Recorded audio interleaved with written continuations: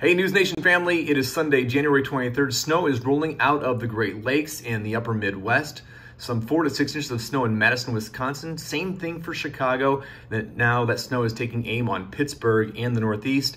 We think we'll see some four to six in Pittsburgh, but it'll be lighter amounts for the rest of the Northeast. Nonetheless, it will be a messy Sunday. Look at the next system coming in from the northern plains. That's going to roll through the same exact areas and make for a messy morning commute for Chicago, Madison, Wisconsin, to Detroit, to Cleveland. Lighter snow returns on this one. We're thinking more like two to three, but it definitely will make it messy for the morning commute coming up on Monday morning. The other part of this weather story is the cold air behind this. Note that 30 degree high in Chicago on Monday, It'll only be 14 for the high coming up on Tuesday for Chicago. And look at the cold single digit readings and sub zero readings, in fact, for parts of the northern plains and upper Midwest. That cold air then pushes into the Northeast for Wednesday.